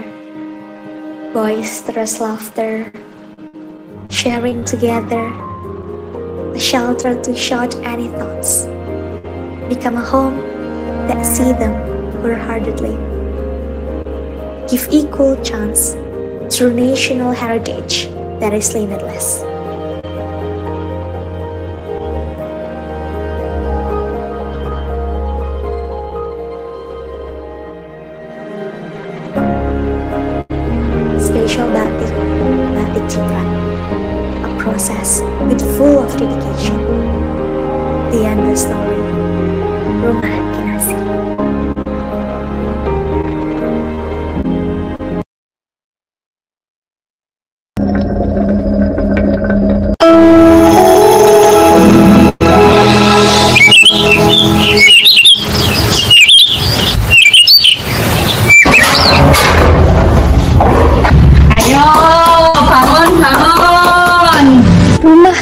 Kinasih, rumah yang memberi kasih, merupakan yayasan rehabilitasi sosial bagi para penyandang disabilitas dan orang dengan gangguan jiwa. Berada di Desa Siraman, Kecamatan Kesamben, Kabupaten Blitar, memiliki keinginan untuk memberi wadah bagi kelompok yang termarginalkan agar dapat kembali berbaur di masyarakat dengan bekal sosial dan kewirausahaan. Rumah Kinasih telah menerima berbagai macam disabilitas seperti hambatan penglihatan, hambatan pendengaran, hambatan intelektual, hambatan fisik, autis, dan hambatan ganda. Sedangkan untuk gangguan kejiwaan, yayasan ini telah menerima beberapa macam gangguan seperti depresi, anxiety, schizofrenia, dan amnesia. Hampir 60 klien telah menjadi bagian keluarga rumah kinasih dari seluruh Indonesia. Yayasan Rumah Kinasih telah berbadan hukum sejak tahun 2019. Dan berjalannya waktu, kami terus memperbaiki diri menjadi lebih baik hingga saat ini kami telah terakreditasi. Rumah Kinasi bertujuan melaksanakan rehabilitasi sosial penyandang disabilitas dan ODGJ secara mandiri dengan memberikan keterampilan yang bernilai ekonomis dengan difasilitasi dan pendampingan. Hasilnya, di samping memperoleh bimbingan, mereka juga memperoleh kesempatan kerja dan penghasilan. Rumah Kinasi memiliki adanya indikator keberhasilan, yakni satu, memfasilitasi masyarakat dan berbagai pihak berkepentingan dapat melaksanakan rehabilitasi sosial penyandang disabilitas dan orang dengan gangguan jiwa secara swadaya. 2. Menghantarkan penyandang dan keluarga dapat menciptakan lingkungan yang promotif bagi tumbuh kembangnya, kemandirian penyandang disabilitas, dan orang dengan gangguan jiwa. 3 penyandang disabilitas dan orang dengan gangguan jiwa mampu melakukan aktivitas kehidupan sehari-hari, keterampilan, dan usaha ekonomi produktif secara mandiri sesuai potensinya. Demi terciptanya indikator keberhasilan, maka terdapat beberapa persyaratan jika ingin ditempatkan di rumah kinasi. Hal yang wajib dilakukan ialah asesmen. Asesmen dilakukan pada tahap awal penerimaan calon klien. Dikarenakan masing-masing individu memiliki latar belakang yang berbeda, maka untuk pemulihan pun masing-masing individu membutuhkan penanganan yang berbeda. Bagi setiap klien yang ingin menjadi bagian dari rumah kinasi, harus memenuhi syarat dasar berupa data diri, KK, KTP, kartu vaksin, kartu KIS, kartu pemeriksaan psikolog dan psikiater, kartu pemeriksaan kesehatan. Setelah data diri sudah memenuhi syarat, maka hal selanjutnya yang dapat dilakukan adalah melakukan sesi wawancara yang dilakukan dengan pihak keluarga maupun pengerujuk yang mengetahui keadaan klien sehari-hari. Hal tersebut ditujukan untuk mengetahui keadaan terkini klien. Jika dari hasil asesmen tersebut, klien menunjukkan hasil yang sesuai persyaratan, maka dapat langsung dilakukan tindak lanjut, yakni melakukan pengisian formulir dan tanda tangan persetujuan orang tua maupun pengerujuk dengan pihak rumah kinasih bermaterai. Hal ini dilakukan sebagai bentuk pihak keluarga telah mengikuti seluruh peraturan sehingga klien menjadi tanggung jawab rumah kinasih dengan masa rehabilitasi selama 6 bulan proses pendaftaran hingga masa rehabilitasi di rumah kinasi tidak dipungut biaya apa pun.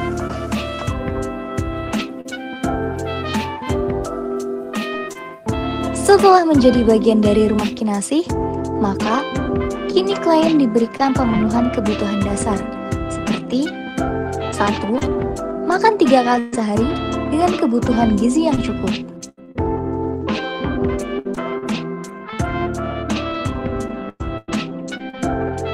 2. Untuk kebersihan, mereka diajarkan untuk dapat membersihkan dirinya sendiri meskipun masih dalam pemantauan.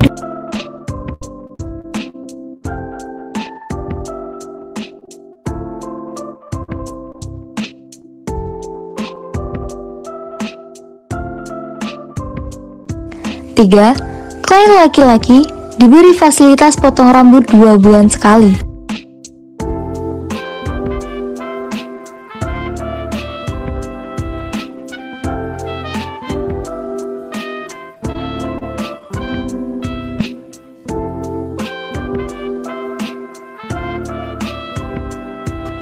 4. laki-laki dan perempuan yang dipisah beserta toilet yang bersih. 5. Fasilitas kesehatan satu bulan sekali berupa pemeriksaan kesehatan dengan mendatangkan ahli medis profesional dengan bekerja sama dengan UPT Puskesmas terdekat. Pemeriksaan klinik jiwa satu bulan sekali di Puskesmas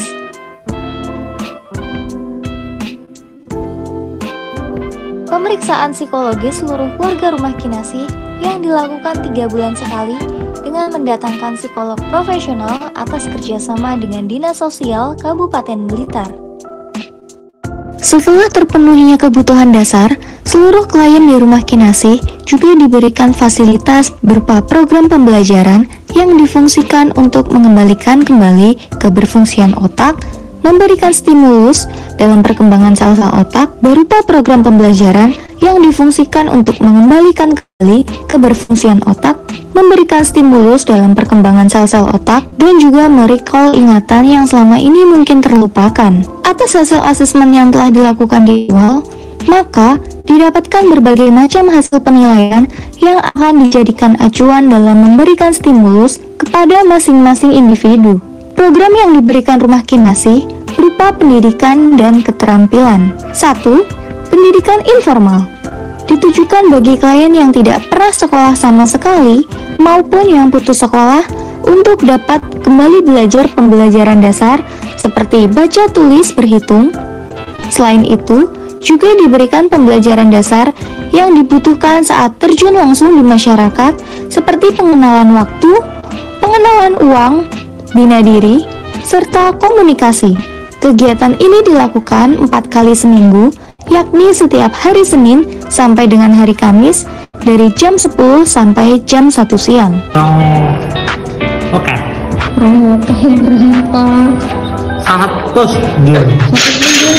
Dua, pendidikan vokasional ditujukan bagi klien yang masih dalam usia sekolah dalam bentuk persiapan saat terjun ke dunia kerja, serta bagi klien yang belum pernah membatik sama sekali. Maka, pembelajaran vokasional diberikan untuk tahap pengenalan cara membuat batik di setiap prosesnya. Kegiatan ini dilakukan empat kali seminggu, yakni setiap hari Senin sampai dengan Kamis dari jam 10 sampai jam 1 siang.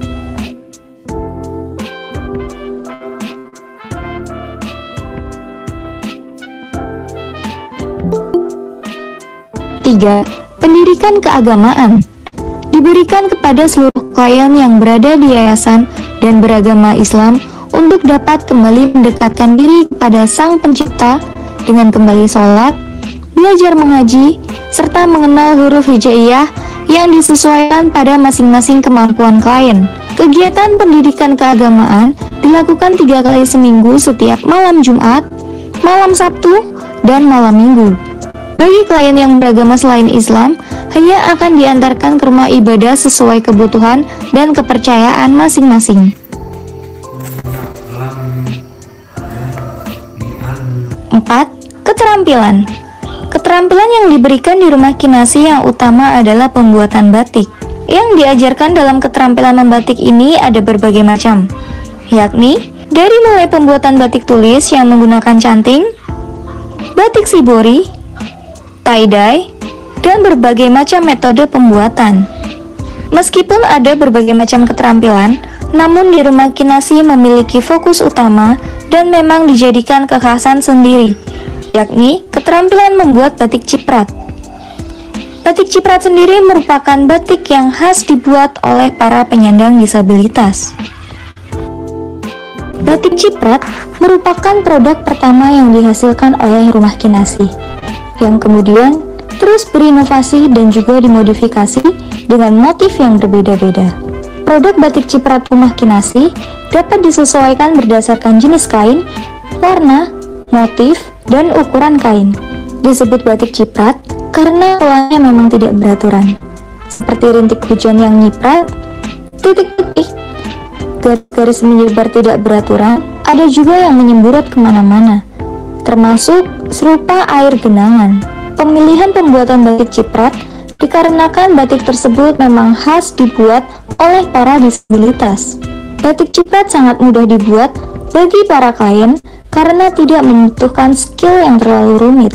Proses rehabilitasi menggunakan media pembuatan batik ciprat dirasa cocok karena pembuatannya dapat melatih klien untuk bersosialisasi. Bahkan, ketika klien sedang memiliki emosi terpendam, dapat disalurkan dengan cara mewarna maupun menciprat dengan malam. Proses keterampilan batik ciprat tidak hanya terpaku pada proses produksi, tetapi mereka juga dilibatkan dalam marketingnya, seperti pada saat pameran diadakan. Pengembalian fungsi sosial diberikan berupa pemberian kesempatan pada saat berbagai kegiatan seperti ini. 1. Keikutsertaan dalam terjun langsung ke masyarakat saat kerja bakti membersihkan lingkungan. 2. Keikutsertaan seperti acara karnaval desa dengan memberikan berbagai macam keterampilan. 3. Ikut sertaan dalam kegiatan pameran penjualan batik di berbagai acara dan di berbagai kota. 4. Keikutsertaan dalam kegiatan fashion show yang dilakukan di berbagai acara dan di berbagai kota. Hal ini dimaksudkan untuk menumbuhkan rasa percaya diri dan juga rasa dimanusiakan sebagai individu di masyarakat. Meskipun terlihat sepele, hal seperti ini sangat berpengaruh pada timbulnya rasa dibutuhkan, sehingga sifat malu dan tidak percaya diri dapat memudar dan tergantikan oleh rasa bangga atas dirinya sendiri. Terdapat kejadian yang mengharukan yakni salah satu klien gangguan jiwa yang menangis penuh rasa halu dan bangga saat mengikuti kegiatan karnaval hingga banyak yang mengajak berfoto bersama. Satu kalimat yang tidak pernah terlupakan, saya senang banyak yang mengajak saya foto bersama. Sebelumnya, saya tidak pernah terlihat oleh siapa pun. Rasa bangga yang ada dalam diri klien atas keberhasilan dirinya sendiri akan terus dikembangkan. Dalam proses rehabilitasi di rumah kinasi, kami akan terus memantau masing-masing klien terkait perubahan yang dialaminya selama masa rehabilitasi berlangsung. Setiap tiga bulan sekali, perkembangan klien selalu dilihat dan dicatat dalam sebuah rapor penilaian. Rapor penilaian yang diberikan merupakan tindak lanjut dari hasil asesmen awal yang dilakukan sebelum masuk ke yayasan. Hal-hal yang dinilai dalam proses penilaian berupa sikap klien atas dirinya sendiri, seperti kebersihan diri, kerajinan dalam melaksanakan ibadah, kedisiplinan, dan lain-lain. Kemudian terdapat penilaian klien terhadap teman lainnya sesama klien dan pendamping dapat berupa kedisiplinan, cara bersosialisasi, bertanggung jawab atas tugas kelompok, dan lain-lain. Dan yang paling penting dalam penilaian ini ialah penilaian diri kalian terhadap kegiatan di masyarakat, yakni bersosialisasi dan kemampuan diri dalam segi sosial dan ekonomi.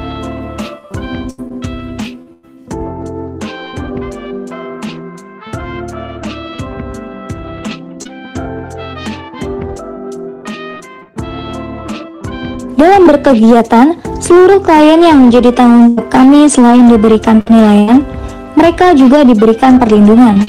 BPJS Ketenaga Kerjaan 2 program sebagai bentuk tanggung jawab rumah kinasi untuk seluruh klien yang diberikan keterampilan. BPJS Ketenaga Kerjaan ini kami bayarkan setiap bulannya secara rutin. Hasil karya keterampilan batik ciprat dari klien dikayakan sehingga seluruh klien pun sudah dapat dikatakan sebagai pekerja disabilitas dan bukan hanya sebatas klien yayasan yang membuat karya. Sehingga hal tersebutlah yang mendasari kami untuk memberikan perlindungan tersebut. Dari hasil penjualan karya batik, mereka pun juga diberikan royalti setiap bulannya berdasarkan lembar batik yang mereka hasilkan.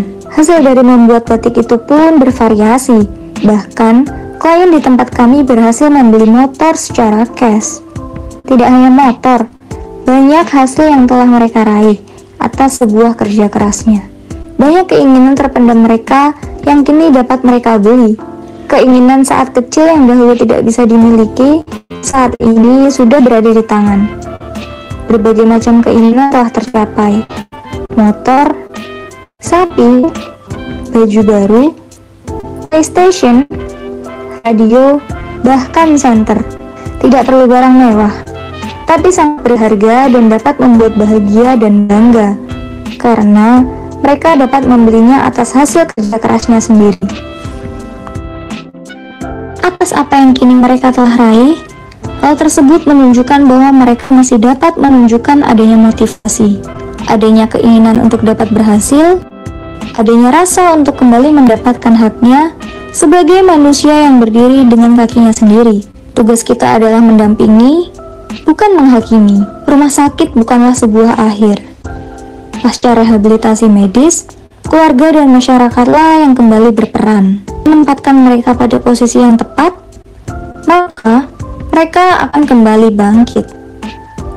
Tugas masyarakatlah yang kini menjadi sangat penting. Memanusiakan manusia akan memupuk rasa kepercayaan diri mereka yang selama ini terpendam. Rumah Kinasih rumah yang memberi kasih. Tidak hanya sebuah yayasan rehabilitasi sosial, tapi kami juga membentuk sebuah lingkungan baru. Lingkungan kecil penuh dengan harapan, langkah demi langkah kami mulai. Bagaimana menciptakan masyarakat kecil yang mendukung proses pengembalian fungsi sosial untuk keberlangsungan hidup disabilitas dan orang dengan gangguan jiwa ke depannya. Rumah Kinasih, Life No One Behind.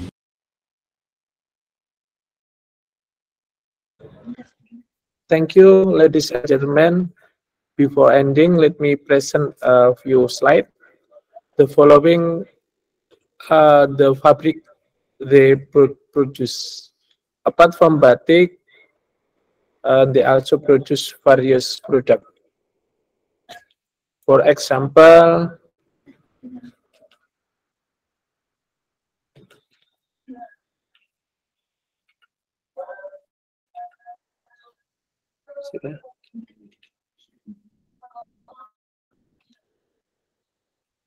Ya.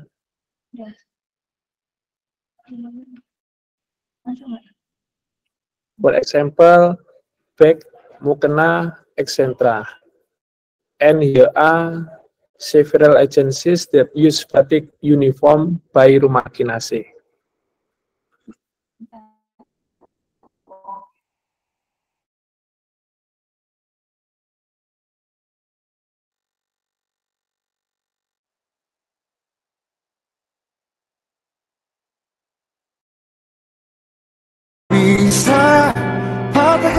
Halo Sobat Kinasi, udah penasaran gak sih?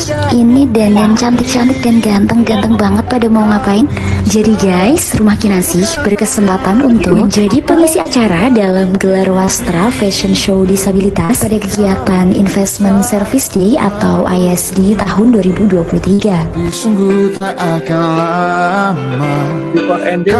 Bersama dengan Gus Jeng Kabupaten Blitar, tim Fashion Show Rumah Kinasi berhasil membuat suasana acara acara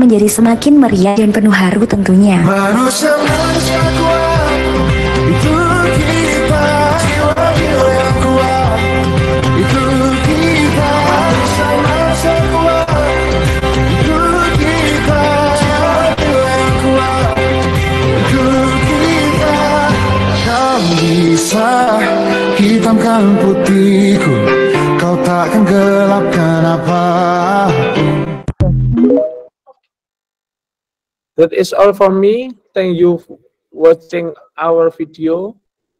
I would like to apologize if there is a mistake. I hope you have a nice day.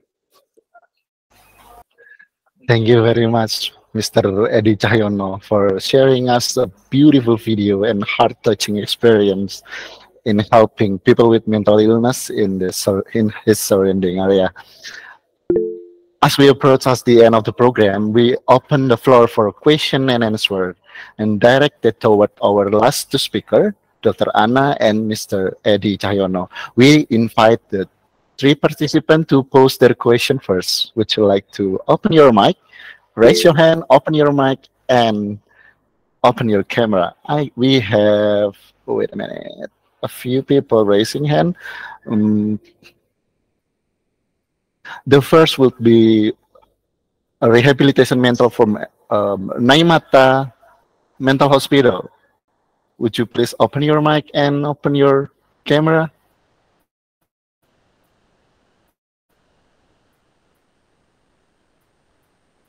Hello? Hello, Miss. Would you please to open your mic? Are you hear me clearly? Yes, crystal clear. Thank you. Please ask Okay. question. Thank you so much. Uh, my name is Immaculata. I'm a nurse. And now I work at a mental health hospital, Rumah Sakit Jiwa Mata in East Nusa Tenggara, and especially in uh, rehabilitation uh, room. And thank you for uh, such a presentation. I like to uh, question for Rumah Kinasih. Yeah. Uh, what makes you or what makes motivate you to build a Rumah Kinasih? And then uh, first first question and then second is uh, you said that everything is free. Uh, it means that uh, every patient is not is have not uh, pay for anything. So how how how you run uh, organization without um paying from a patient? Yes, and then um, when you start the organization, it means you have to like cost a lot. So how how can you manage it? Like you you you get uh, money from your own, or you have like sponsor. Thank you. Uh, Mr. Edi Cahyono, uh, are you receiving the point of the question?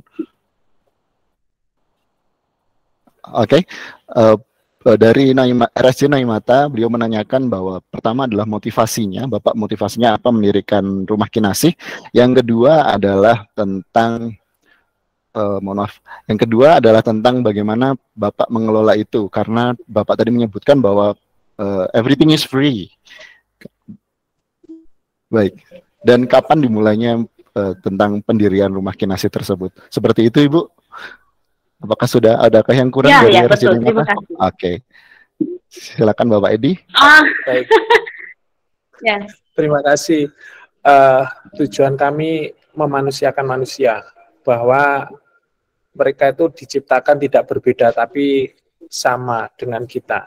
Mereka juga punya hak untuk eh, mendapatkan hasil diterima secara eh, sebagaimana mestinya masyarakat pada umumnya.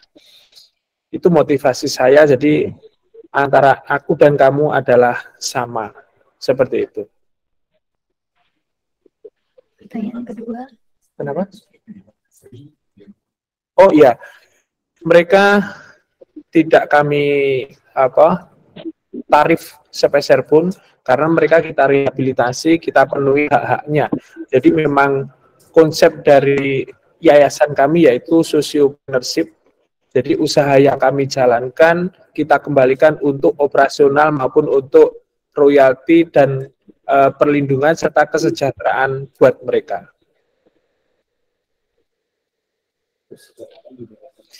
Kami merintis sejak tahun 2017 sampai saat ini dan kami badan hukumkan pada tahun 2019.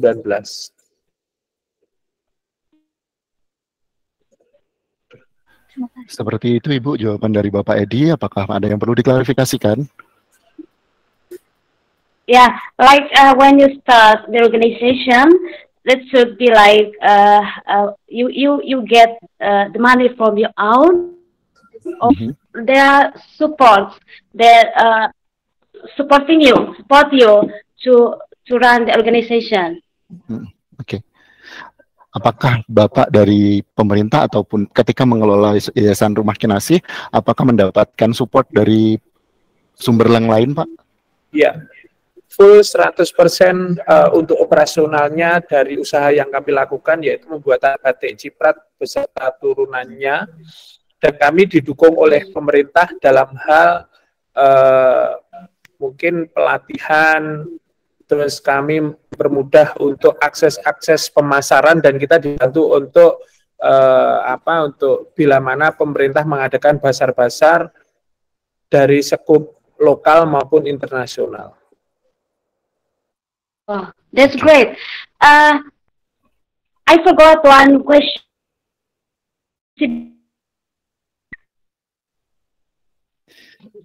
Yes, please. Okay.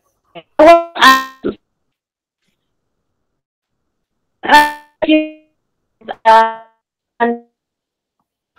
Uh, I'm sorry, miss, because connection matters. Would you please to repeat your question?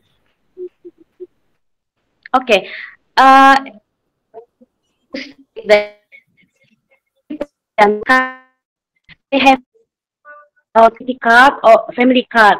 But how about if a patient that uh, they're without family, like uh, homeless, and there are no no family because they are they they don't have like identity identity card. Uh, how how can uh, you manage it? Thank you.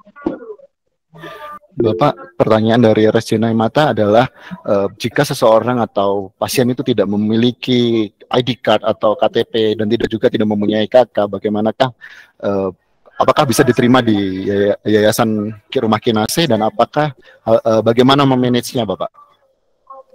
Iya, memang banyak yang kami ada beberapa klien yang masuk di tempat kami itu kiriman dari lembaga pemerintah dan mereka tidak punya identitas. Jadi mereka kita carikan uh, identitas buat mereka. Kita kerjasama juga dengan adminduk untuk identitas mereka.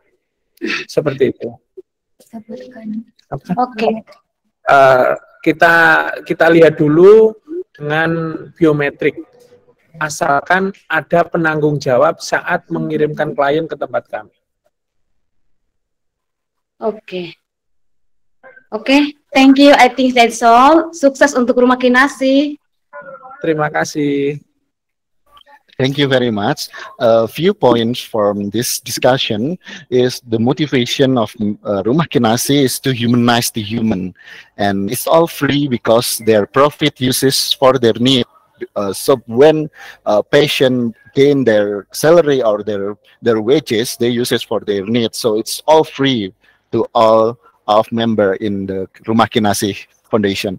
And when someone come to Rumah Kinasih didn't, didn't have a national ID, uh, this is uh, no need to worry because uh, Rumah Kinasih already cooperate with the local government to uh, regain their national ID. That's why everyone is accommodated to this uh, foundation like this. M maybe it's inspired to other country or other, other area in Indonesia to build some rumah kinasi, another rumah kinasi model.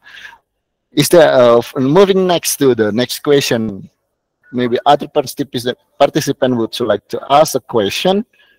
Uh, I see in a checkbox dari from Yanet RSJMS termasuk untuk jaminan tenaga kerjanya juga Pak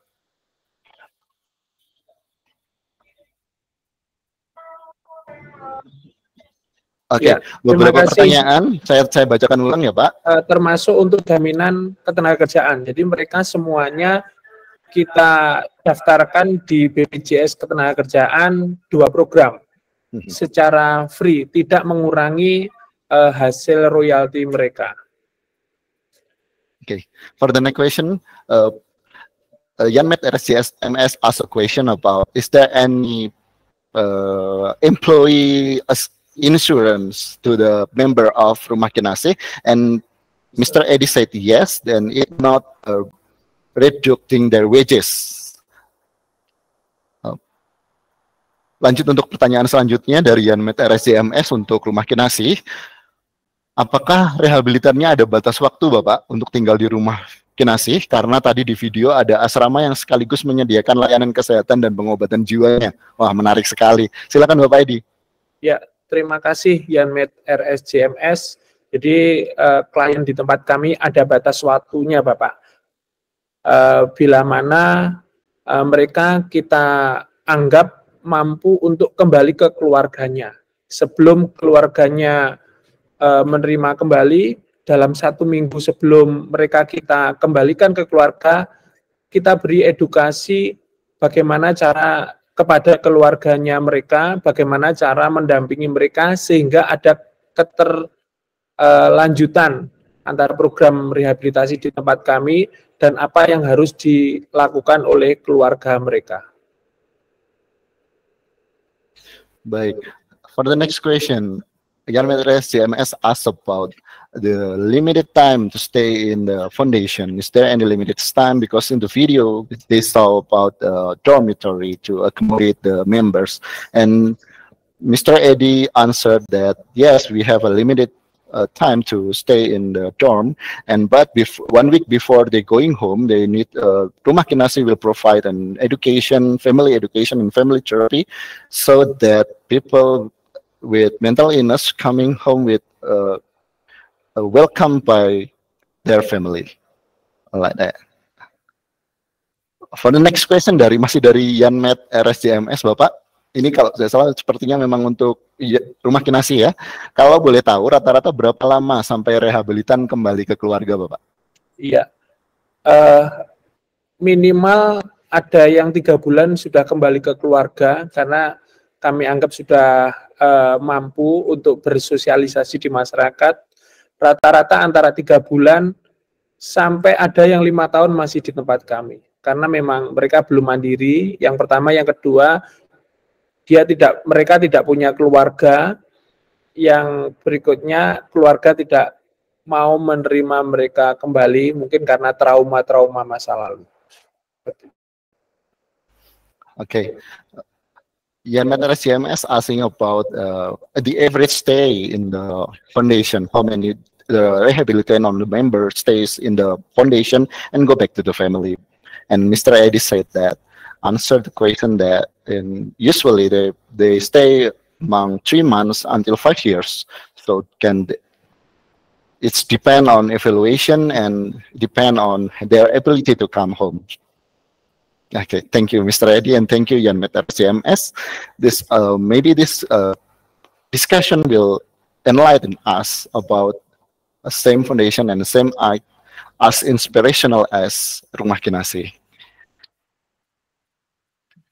I would like to invite another member, another participant from our hospital maybe, from another hospital.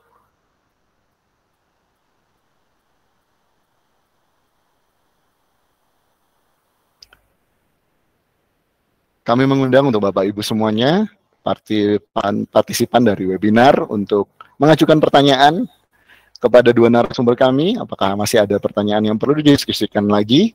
Yaitu kepada psikiater Dr. Anna Purnamasari dan juga Bapak Edi Cahyono dari Yayasan Rumah Kinasi Mandiri.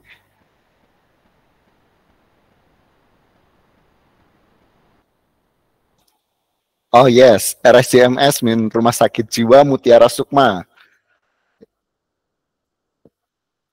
Thank you very much. Terima kasih Bapak.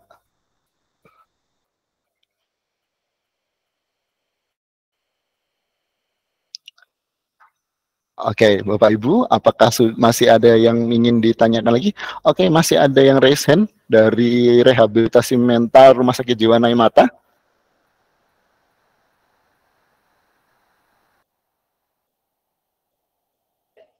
Oke, okay, baik. Baik, terima kasih Bapak Ibu semuanya. Jika tidak ada pertanyaan, kita lanjut pada sesi selanjutnya. Due to time constraints and any unanswered question will be addressed via email. And we will send the summary of the question for today's seminar into your emails. And now, as we reach the conclusion of this insightful webinar, we would like to express our deepest gratitude to all distinguished speakers, participants, and other organizing teams.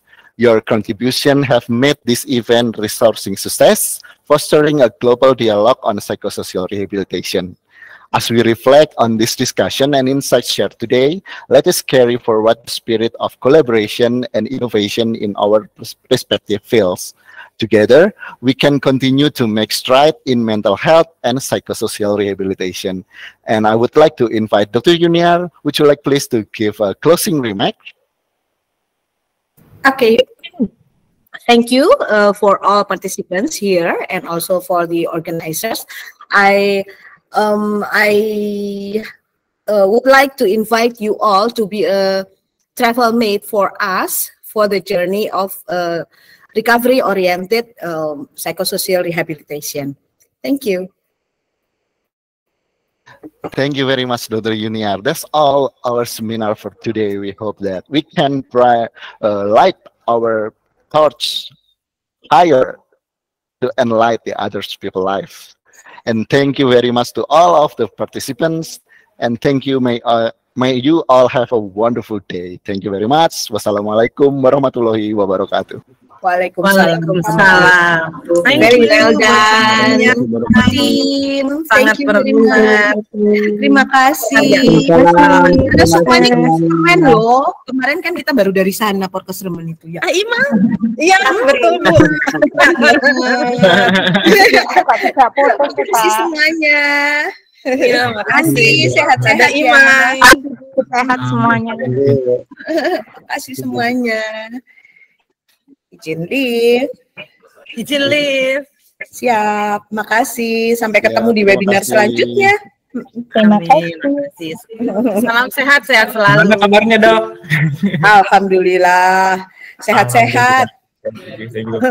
Mas Andi, keren Mas Andi. Batik-batik kan, Andi. Ya. Oke, keren keren keren keren. Oke. Mantap Mas Randy, Dr. Yun. Teman Pak Ali. Terima kasih semuanya supportnya. Thank you Assalamualaikum. very much. Waalaikumsalam. Waalaikumsalam.